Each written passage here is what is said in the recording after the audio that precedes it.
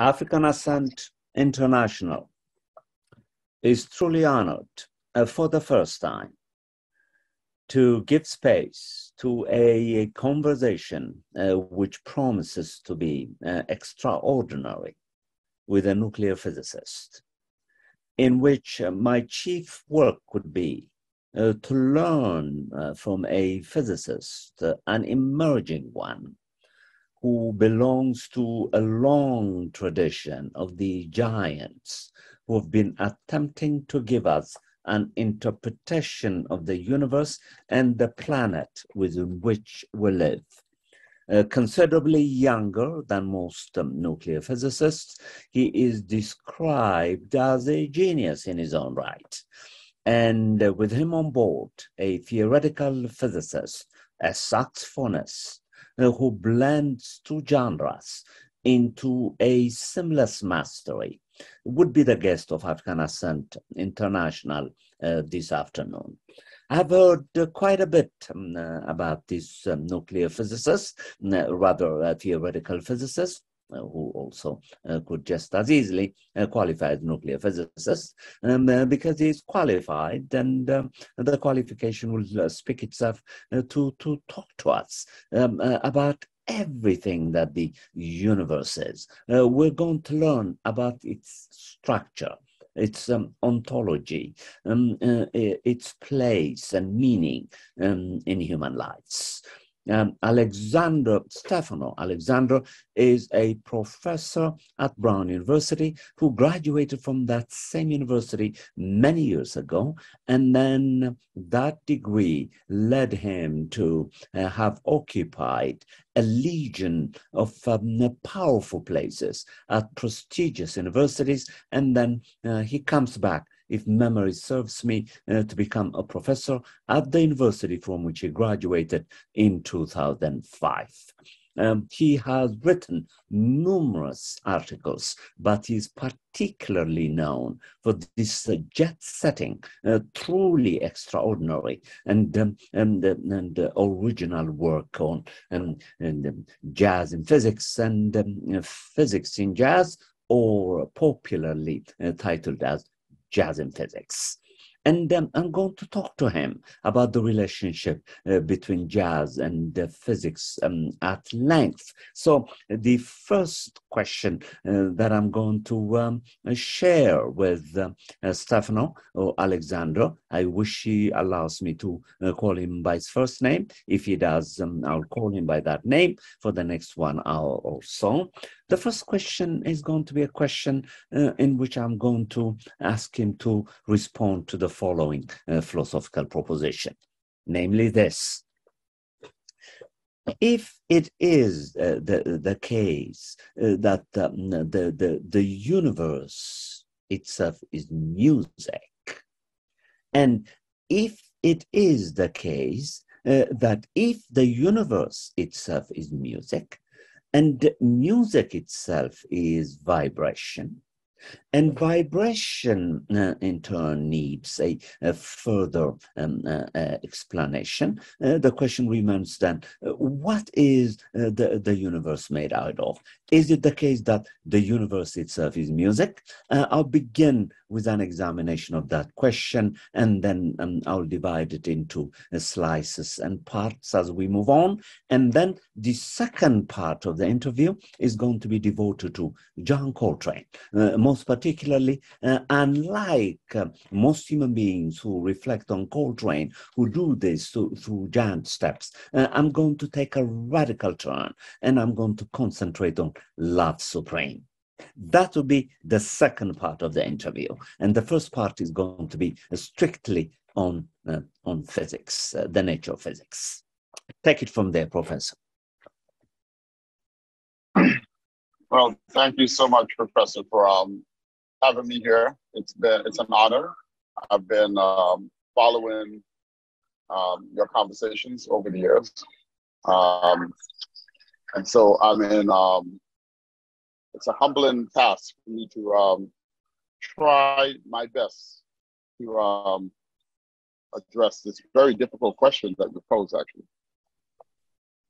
the program of this idea of a musical universe start some say started with pythagoras the idea of musical spheres.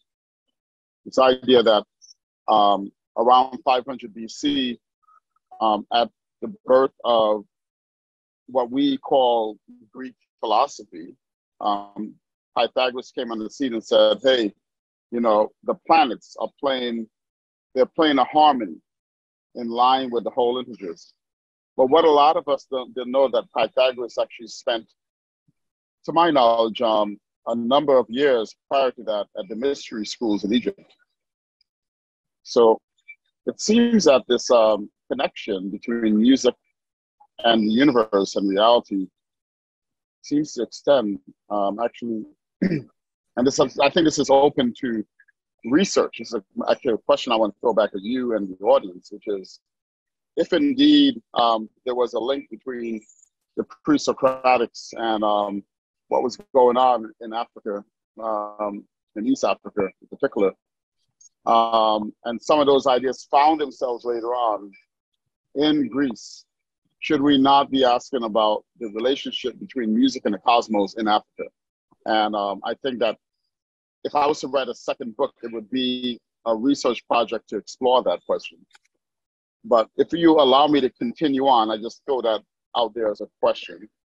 Um, that the birth now of what we call modern physics and um, and modern mathematics, starting from Pythagoras' intuition, and then of course Plato and Aristotle, Ptolemy, and, and a, a whole bunch, a whole slew of people. That tradition of thinking about the universe as being harmony um, and the relationships of harmony um, really spilled into into um, our theories, our theories that basically try to express those relationships. So when we think about music, we're thinking about basically a sense of, and I use the word very loosely, of course. I mean, I, because you know, what's harmony to some is not harmony to others. But this idea of relationship, of harmony, of holism, of affect, of the idea that music has a profound um, connection on the human soul and the human mind and the human heart. And talking to some neuroscience friends of mine, it seems that music actually in, is the one thing that engages the entire human brain. Um, the entire brain has to be activated to process music. So all this points to this intuition I think a lot of us have that you know, this thing we call music that can move us so deeply. And this thing we call the universe, which is responsible for at least housing us, housing planets, housing galaxies, housing, you know, a situation that we could now be in. Um, maybe they're, you know, they're connected in some ways. And that's kind of like what I was exploring in my book. Um, and I would say that um, you know, I would say that the um, the jury's still out. The jury's still out. But w- when we talk about Coltrane later on, um, what we'll see is that there have been a number of, of, of masters in music who also had a similar intuition for other reasons.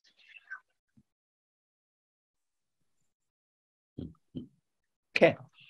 Now, uh, Stephon, you wrote eloquently uh, in the jazz of music the following statements, which I really liked.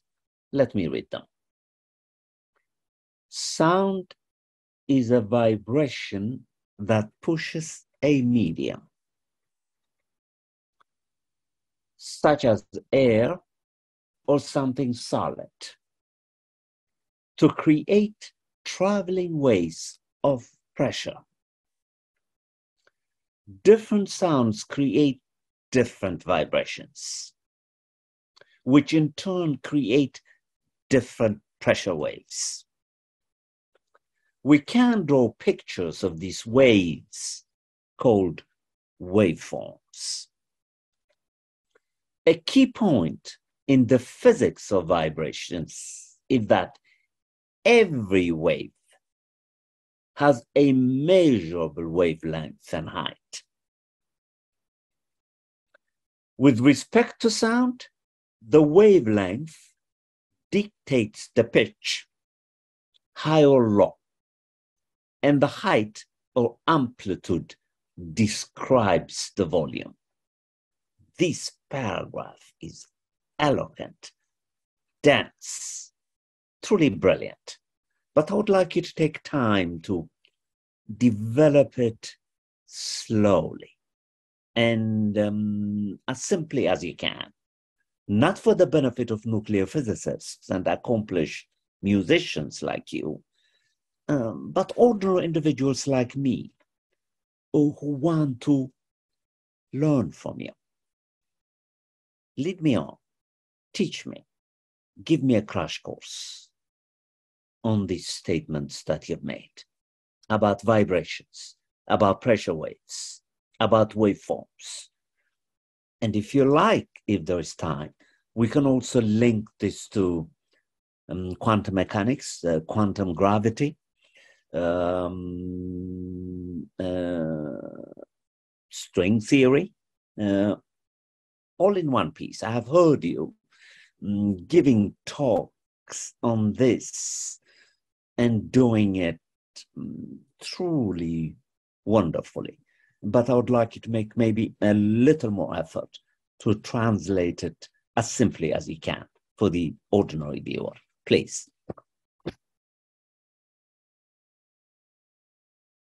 Should I reread it to you uh, in case I have overwhelmed you with the reading? Yeah, we read the last sentence of um, of that of that quote. Okay. It's the last sentence. Okay, I could read the whole sentence quickly so that it could um, digest it and then translate it. Sound is a vibration that pushes a medium, such as air or something solid, to create traveling waves of pressure. If you like, I can also save this particular paragraph. And then when we do Coltrane, I was going to ask you to apply these steps to the sax, to the instrument that you play, so that we can have a visual image of this medium, um, the solid air, um, the waves, the pressures, and so on, if you like. But I thought first we should do the physics, and then we'll apply this to the music when we an- analyze Coltrane, if you agree.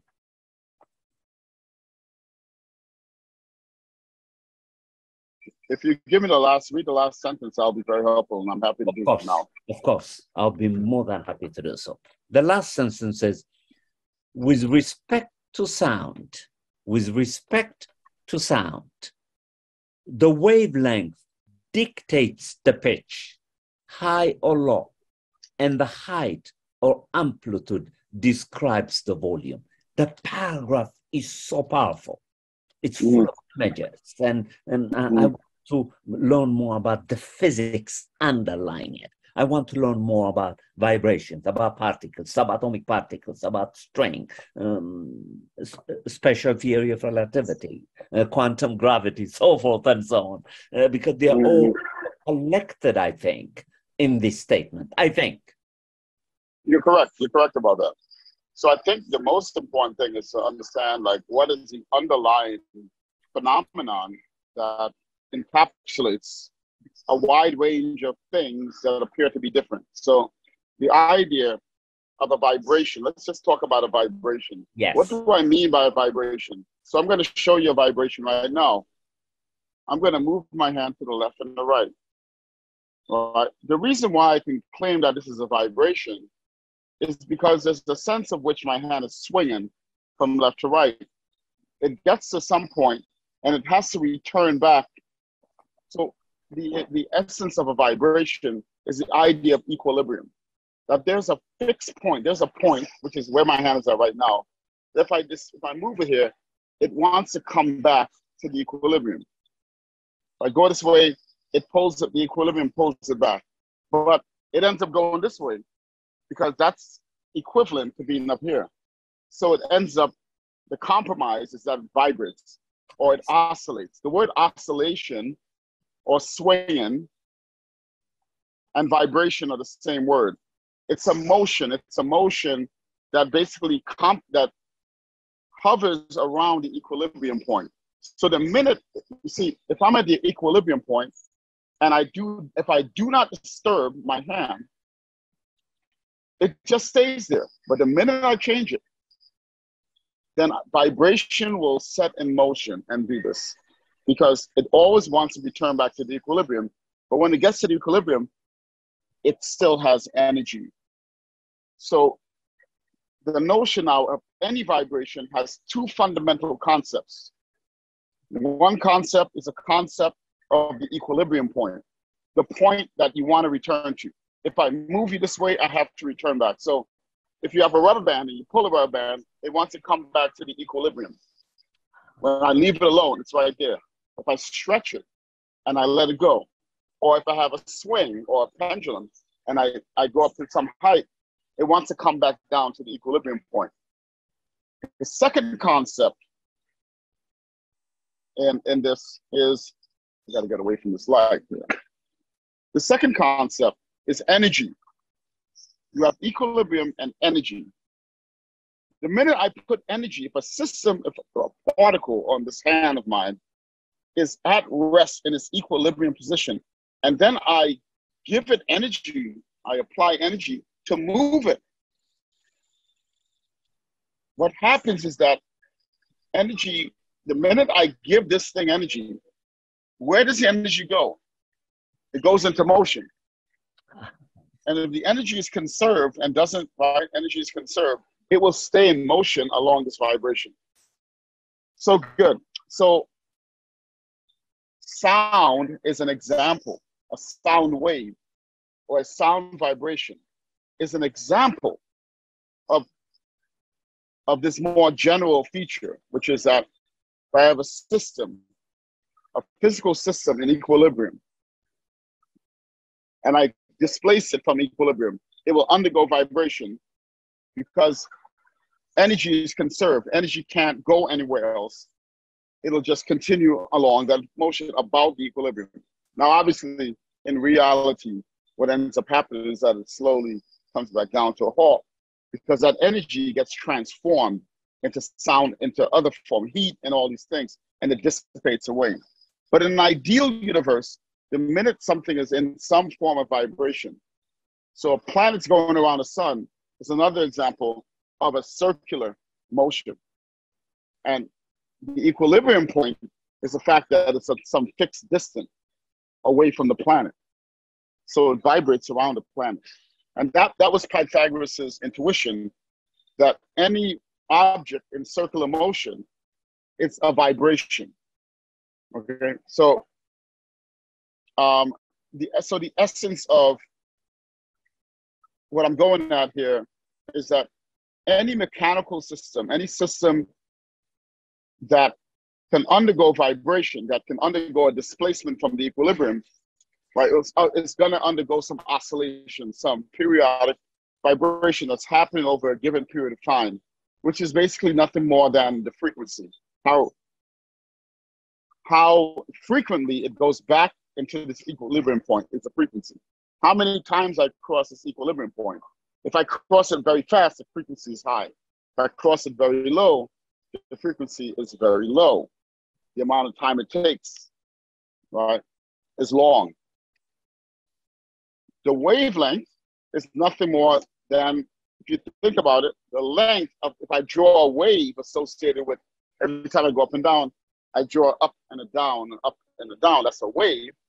And therefore, the longer the wavelength is, right, the longer it takes this thing to go from up to down. The shorter the wavelength is, right, the faster it goes up and down. Right? So sound waves are examples of, in this case, air molecules vibrating away from equilibrium due to the action of a vibrating instrument. That was remarkable, um, and, and it, it couldn't have been done uh, any better. This is probably one of the best descriptions um, that my ears had ever listened uh, to, to, to, to understand the nature of vibrations. Now, um, a companion, Thank of interest. Uh, what is the relationship between particles and waves? Oh, that's, that's that one is even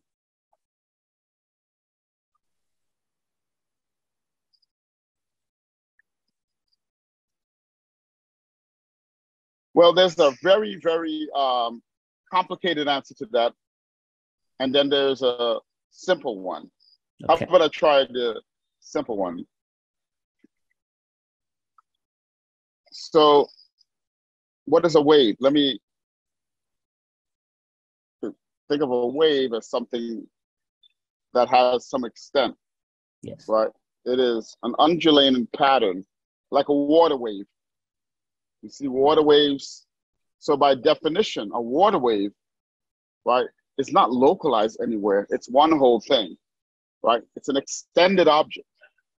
So part of the wave can here, when I say a water wave, and I think about water wave, I, I can't just, so I can say part of the wave is here and part of it is here. So for example, if I talk about a water, a, a wave of water, for example, in the ocean, it could be that at some point in time, the wave will be part of the wave, part of the wave will be here, and part part of the wave will be up.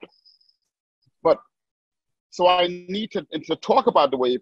I have to talk about the wave in many different locations. Yes. Right.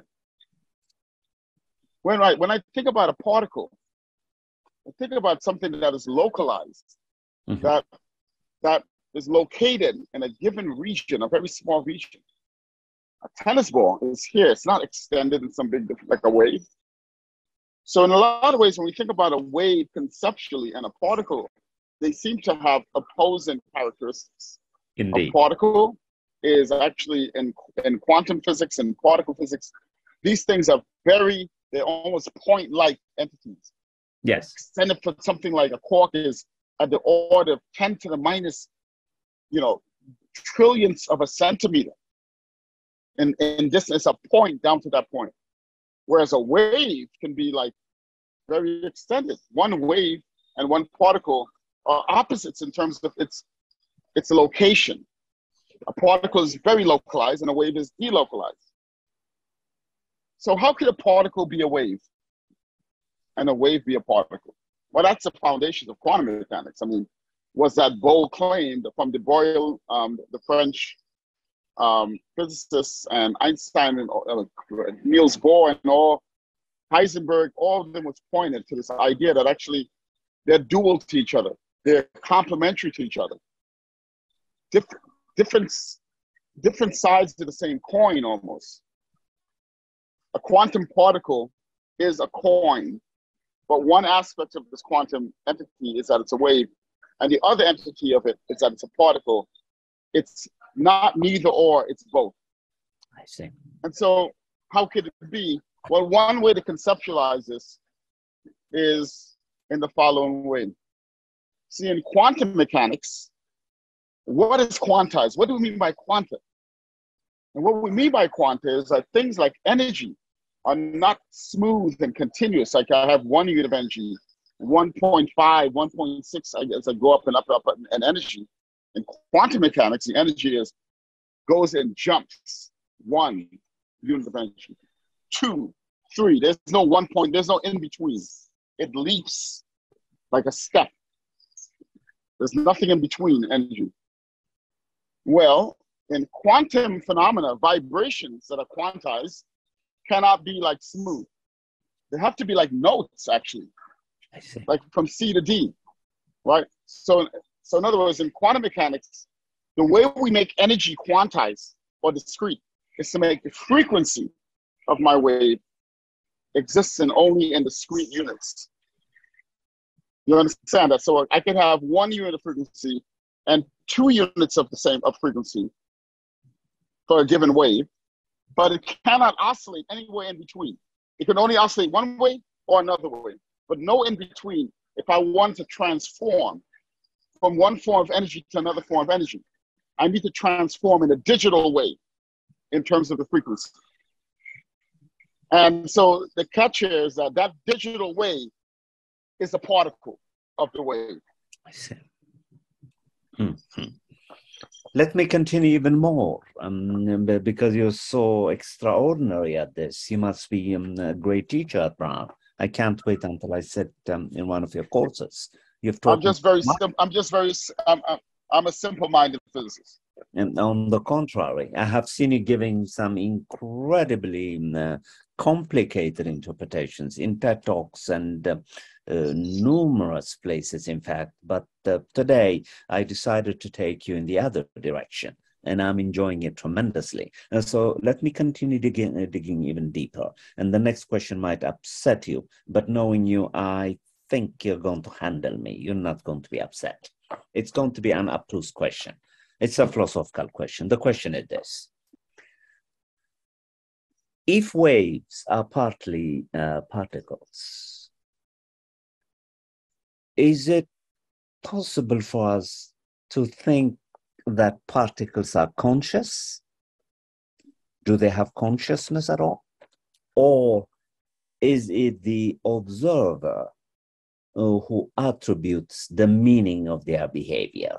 Or is it possible for the, for the waves and for the particles to be conscious that they are being observed?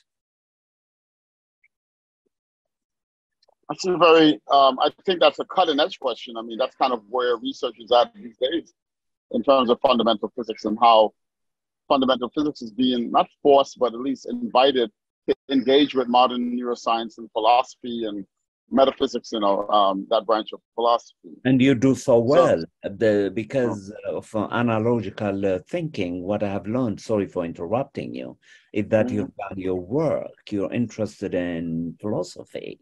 You're interested in physics, naturally, because that's your craft.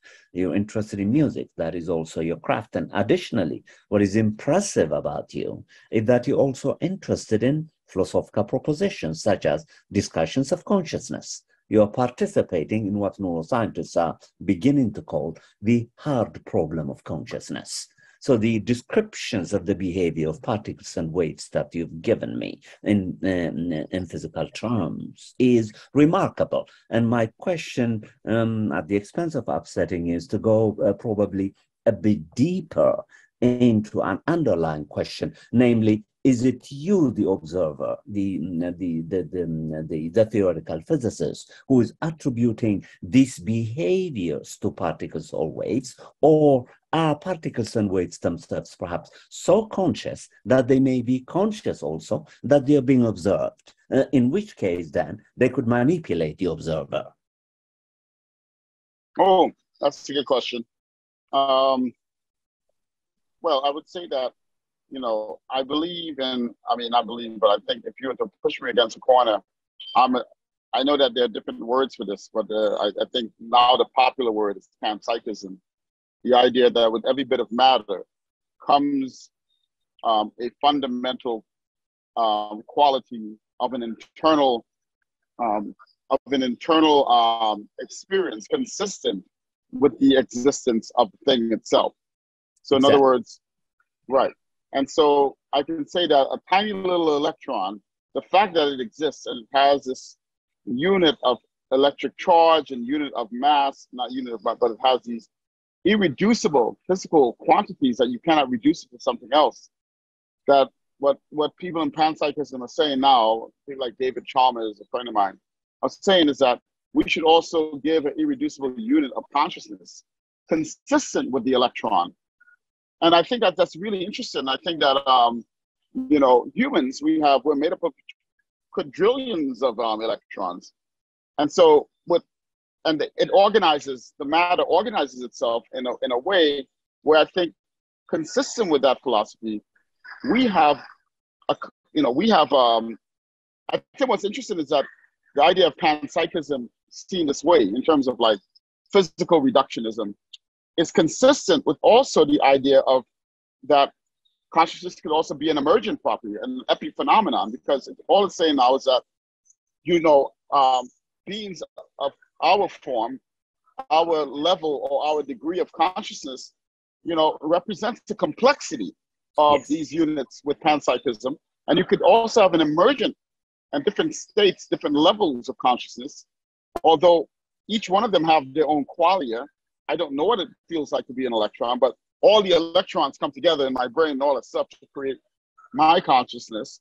And I think now where things get interesting to me is going back to your question is that okay, if an electron could be conscious in its own unit of consciousness, um, and it's you know consistent with this idea of panpsychism, and I am observing or I am watching this electron or doing an experiment, who who is riding which market magic carpet? Precisely. Who is observing home? yeah. And I think now the question of, of now of agency comes into mind. Indeed. I, I, I would say that, you know, I have, I may have more agency because my level of consciousness is that much more complex than the electron's level of consciousness that I can manipulate to some degree the physical world to impact this electron in ways that it cannot, at least to my knowledge. Um, so I think like this idea lends itself to um, this question to many interesting outcomes to test this idea of how panpsychism comes into into play with things like um, you know um, um, um, I think Tononi and um, his collaborators uh, integrated information. There are these modern versions of panpsychism that I'm, I'm, you know, I am a fan of. But I think there's a lot to be discovered, a lot to be explored there. Mm-hmm. So what you ask is a very difficult question. Well, I thank you. And um, um, who is the ox? Who is the ox and who is the cart? Precisely. Uh, the one who thinks is observing uh, with an incomplete capacity to observe because the instrument with which he or she is observing is the brain. And the brain, as we have learned from these unbelievable conversations between David Bohm and Krishnamurti, is by definition inherently limited and in that the phenomena that it is observing in your language um, the consciousness that underlies it is so huge and not totally explained and in that the conclusions that we draw with limited brain capacities that we have uh, cannot possibly reduce phenomena that we don't understand as dennett and others think into a physical state. That states of consciousness mental states cannot conceivably uh, be physical states. In fact uh, physical states it's appear uh, could one day be explained by mental states once we understand the nature of consciousness. Hey, um, I, I vibe with you in that same. Mm-hmm, mm-hmm. Okay, now I want us to move. I'm, I'm, I'm so satisfied with what you've given me, and uh, I feel um, slightly more intelligent than um, I did when I first began. Because thanks to you now, uh, I could speak about physical terms. Well, well, we, you sound like a you sound like a true philosopher. Well, I try my best, hardly. now, I want to move to the second exhilarating part of the uh, of our conversation, namely music, and I'm going to do this with your patience in the following way. Be patient with me. I'll surprise you. I'm going to begin with a poem, the famous poem by Coltrane. If you right, okay. I'll do, I'll do all I can to be worthy of thee, O Lord.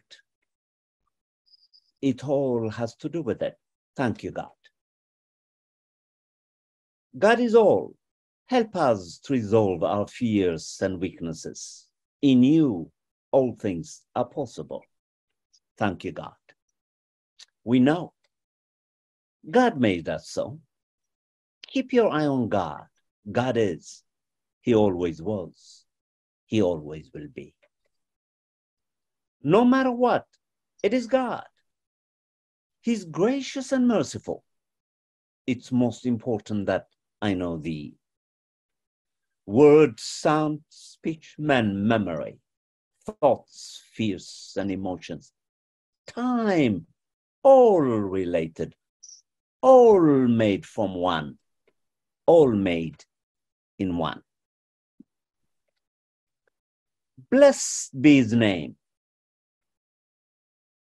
Thought waves, thought waves, heat waves, heat waves, all vibrations, all vibrations, all paths lead to God. Thank you, God. His way, it is so lovely. It is gracious. It is merciful. Thank you, God, God. Thank you, God. Have no fear, believe. Thank you, God. The universe has many wonders. God is all. His way, it is so wonderful. Thoughts, deeds, vibrations, thoughts, deeds, vibrations, thoughts, deeds, vibrations, all go back to God. And He cleanses all. He is gracious and merciful. Maybe I'll be acceptable in thy sight. We are all one in His grace. The fact that we do not exist is acknowledgement of thee, O Lord. Thank you, God. God will wash away all our tears. He always has. He always will. Seek him every day. In always seek God every day. Let us sing all songs to God, to whom all praise is due. Praise God. No road is an easy one, but they all go back to God. I'll go back to the key phrases that I would like you to interpret with the resources of physics, as you did for the last 35 minutes, and now harmonize them with the resources of music. Because Coltrane was both interested in physics, his hero was Einstein, mm-hmm. correct? Yes. correct. All right. So, bless be his name. Thought waves, heat waves, all vibrations, all paths lead to God. Thank you, God. Your comments.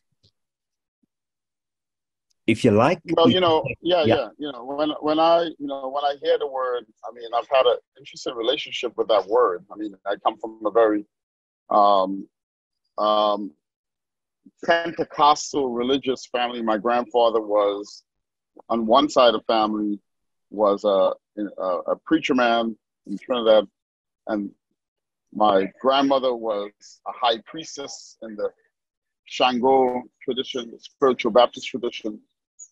My mother is basically a saint, you know, emergency room nurse. Come from a family where this very deep belief in God um, and some of the religiosity associated with God was very much part of my upbringing. Um, my on the other side of my family, my great grandfather was an imam um, in Trinidad uh, from southern India, immigrated to Trinidad. I see. So again, this is all yeah. So this is all interesting, and I became an atheist at age age nine because I saw I was saying God is all this great stuff. You know, God, you know, God is all forgiven. He's grace and and um and then I saw all this bad stuff going on around me in the Bronx where I grew up. I mean, I grew up in in a neighborhood in the Bronx in the '80s. Um, I was like, well, how could there be a God if all this stuff is going on? God doesn't like us, and He likes the white man. You know, it's like I remember as a nine-year-old kid, I used to have these thoughts, right? Because um, it was very naive, obviously. And I went to the preacher and I said, if there's a God, then why oh, there's all this suffering in the world? And he gives us all this answer. So again, when I hear this, I hear it also in my own context. And my relationship, after all these years of being a physicist, thinking that I was going to find the answer by uh, going to the most fundamental, finding the subject where I can probe the fundamental questions about reality, quantum gravity, string theory, and I still work on this stuff, and I still I'm challenged by it and I and it pays the bills and I can all that stuff. I have a profession, and a livelihood where I can do that. You know, it's interesting that my I've lost I've lost my um, fundamental push to know it all in physics because I realize that I've come to a place where exactly it's interesting that that quote where I at least can accept or have accepted that while we can we will always continue to make advances in science and know things that is a complete like how as Albert Einstein said, the most mysterious things about the universe, one of the most mysterious things is that we could come to know the universe. That's the most mysterious thing. Not that I've unveiled a mystery, but the fact that I can do that with this limited mind. But I've also come to a place to understand that there are just some things that the human mind will never be able to comprehend. There is a limitation inherent in the very makeup that we are part of the painting. We can't know the painter. So I that's definitely where I live these days. And I call that God. I call that which we cannot ever comprehend or even imagine, or as imaginative as we are, and even project, because you know, even when we have ideas of God, that's still a projection. That is not God. I am not that. Right? So I think Train is coming from that place. Train has tapped into something um, to understand that this that God is something so way beyond. Um, and I love Supreme. I also, when I hear Love Supreme, also taps into an expression yes. of that divine energy through his improvisation. And that's why it still, you know, is by far my favorite piece of music. Mm-hmm. So um, um, when you when you play the sax, uh, first this, why the sax? Why that particular instrument? What is it about the sax that interested you as a physicist?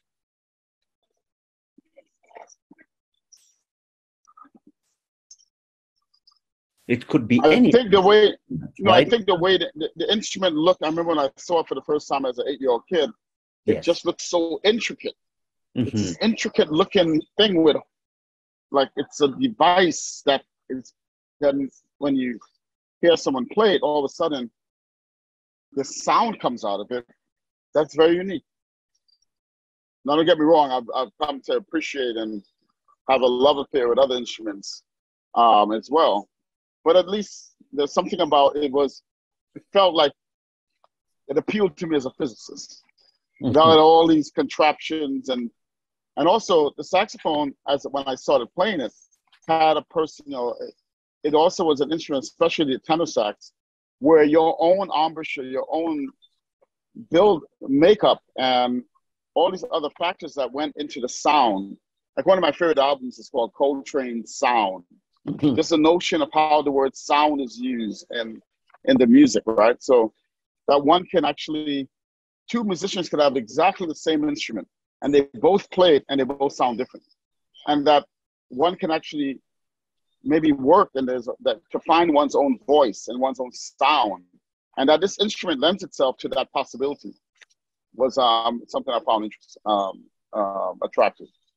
Okay, let me return, as I promised you, structurally to that beautifully written paragraph that you dissected. You're particularly interested in, in, in the last four sentences, which are very musical. I want to return to that. And at the expense of belaboring this, uh, be very patient with me. Um, I want you to help me to uh, visualize how this particular um, paragraph um, um, gives me an understanding of what the sax does. Sound Sure. is a vibration that pushes a medium, such as air or something solid, to create traveling waves of pressure. Different sounds create, as you were just saying, different vibrations, which in turn create different pressure waves. As I'm reading this, um, Alexander, Um, uh, mm, yes. Encouraged to think about strings. In one of the reviews that was done of your work, there is an image of strings. I want to visualize how the saxophone processes its relationship with air. First, it's in air, and secondly, it's breathing air, or rather, the player is breathing air, and through it now, the air is anyway. And who am I to speak this way to? How daring a theoretical physicist. Help me um, to see how we can apply what you've said here to what the saxophone does and why you probably chose it.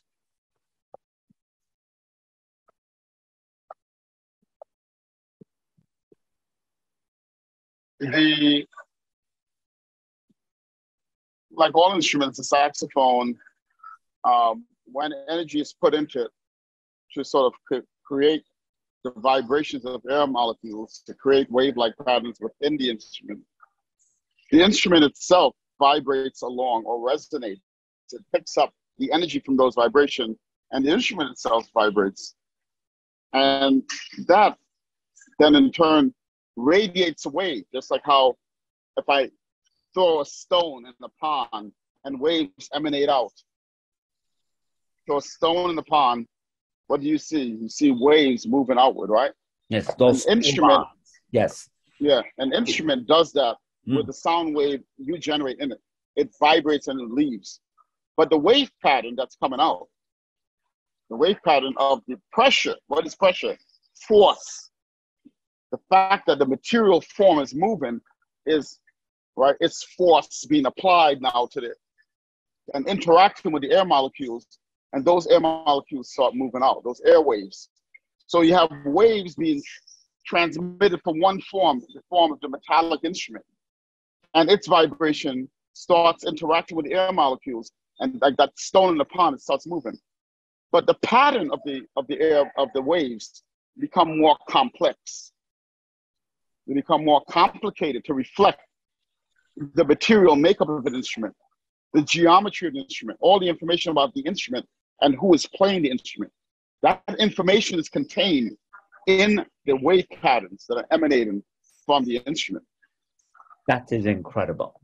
It, um, um, these responses, um, if I um, may put my career um, um, uh, in danger, silences uh, some of the reviewers of your work um, uh, which I read, uh, who thought that uh, you did not succeed to make a case for physics or a case for music.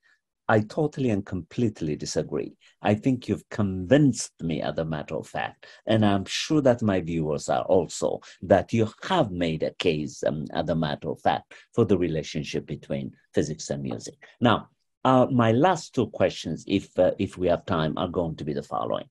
The first, if you have time, I don't want to exhaust you. Uh, I would like you uh, to give me a very simple description of that gift the 1961 gift that Coltrane uh, gave to Lateef, uh, whose position you were um, uh, you were interested um, in having at that cafe one day when you were uh, encouraged to give him a call and mm, he pretended not to be there. Then the moment you said mm, I could explain the meaning of that circle, then suddenly he became present, and then a, a long brilliant relationship begins between you and him. Uh, would it be would it be possible for you to give us a crash course on that on that gift? Sure. So I believe the year was 1961, um, where John Coltrane. So John Coltrane and Yusef Lateef were very close, um, for very good reasons. yes. um, you know, and um, and and there was a Detroit connection as well to that story that I, I don't have time to go into. But anyway, um, you know, um, Yusef Lateef has this book on all these scales um, that I once had um, access to, and I opened a book up, and I was trying to find text to read. about the various scales, Egyptian scale, all, all these different interesting scales and patterns for jazz. Um, and um, and also the thing I, I found very fascinating about that was that you know he covered everything from bebop to you know to Arabic music. So, you know, I mean, it was like a real um, expansive vocabulary um, of the music. And I was fascinated by the book. And I saw at the very beginning of the book, there was a diagram. And maybe you'll be able to share that diagram with the, with the viewers. But this diagram, when I looked at this diagram, I was blown away because at that time I was at Stanford University doing my postdoc working on some mathematical problems and issues having to do with the unification with quantum mechanics and, and Einstein's theory of relativity. And the diagram I saw had same, some of the same geometric forms in it. And I saw it said, birthday present from John Coltrane to Yusef Lateef. Mm-hmm. It was Coltrane's diagram. And I was blown away. I, I felt finally, first time in my life, vindicated that I wasn't that crazy, that Coltrane too was a physics nerd. And that he wasn't just simply blowing his horn, but he was like a scientist exploring new systems, new possibilities with his music and with his instrument and with his knowledge of music. He wanted to go into this other territory. So I told Yusef Lateef this, and we had a very long conversation for like three hours. And you know, one day I, I, am going to write about that, but I, I rather it's a it's a very intricate and long conversation. But let's say it vindicated and it convinced me that musicians and philosophers like John Coltrane and Yusef Lateef were just on another level. They weren't playing music to just simply entertain people or to be the baddest sax player or what have you. They were, uh, they were like a scientist, like Einstein, seeking new structures, new connections that even transcended the very thing that we categorize and call music incredible. Thanks to you, for example. Uh, uh, as you know, I teach at Berklee College of Music, and thanks to my students, um, I'm increasingly uh, learning um, a few things um, about music. And uh, thanks to you now, uh, for example, you blew my mind away when you informed me that um, Einstein took his breaks during the times that he was playing the violin. Uh, he wasn't merely relaxing, I don't think. You've convinced me that the theory of relativity, as a matter of fact, was being informed and sliced by the vibrations that he was um, um, observing in the instrument that he was playing, from which he was gleaning what Coltrane in Love Supreme is calling these airwaves, these uh, heat, heat waves, these uh, thought waves, so that he could understand the musicality of the universe. Uh, because what is intriguing, you have argued, uh, um, is that the universe itself is music. Because the universe yes. is made out of vibrations, and vibrations, as I have learned from you, in the form of sounds, are the language of music, which means that the universe itself is stylized after the structure of vibrations. Yeah, I mean, if we use the word in that general sense of that, it's music that goes beyond our, you know, our perception of sound. That that what our music, what we listen to, is a sonic allusion to what's going on in the, the large in the larger scale in terms of the universe. And when we look at the laws and the way the laws of nature function, it really is based on vibrations and the interactions of vibrations. And sound and the music that we as humans call music with the lowercase m is really a subset of music with capital M. Mm-hmm. It is remarkable too. I'm sure you know this uh, because you're quite well versed about Kemet and how Kemet informed uh, Pythagoras and how Pythagoras uh, crafted what he learned in Kemet uh, and then uh, honed it, uh, developed it, appropriated it, and made it Greek. there is a similar move, um, Alexander, in, in, in Indian philosophy in which there is a reference to the transcendent, to the supreme itself being music. Oh, that, interesting. It's, right. You're right. talking about Nada Brahma. Right. Exactly. The Brahman itself is music. The supreme, I, it's put that way, the supreme is music. And this is not merely a metaphor. I think it's much more than that. It is precisely, I think, what Coltrane is hinting at, if not in giant steps, at least in Love Supreme. That the uh, consciousness itself and the creator of this consciousness is music. And in that the, the, the, the, structure of the universe that the theoretical physicists uh, such as you uh, is coming to understand is itself guided by this music beyond the music the music of the creator. Something to that effect. Well i resonate with willing, that. i'm willing I, I, to correct I, I, res- I resonate with that all right and finally, then, this is only part one. Um, you're going to, uh, with your permission, I would like you to become one of the pillars of African Ascent International so that you could come uh, once a year and give us a report uh, on the state of the art as you are struggling uh, to harmonize um, physics and music. If you like, unless you're very tired, I would like to end this interview with you making the final case for the jazz in physics. Well, I mean, I think that um, for me, writing the book, um, The Jazz of Physics, is really a paying homage to my heroes, Albert Einstein, John Coltrane, and just realizing that my journey as, you know, a jazz musician and as a physicist, which was, you know, I felt like, you know, at least in my own little mind, that society was pulling me in one way or the other, But when I learned more about Coltrane and Einstein, I realized that that there was no conflict, that these two worlds can coexist. And so the book really was a celebration of my two heroes, John Coltrane and Albert Einstein. It's as simple and plain as that. It's very and my well- and my and my other teachers, yeah. And of course, I can't, uh, I would like to um, end this conversation with only the beginning of a friendship uh, and pay homage uh, to your teacher, Mr. Kaplan, who gave us the physicist. Because he Thank you very much. Yes. very early on what your potentials were with a simple question on a ball to which he gave a potentially sophisticated answer that took a theoretical physicist to develop.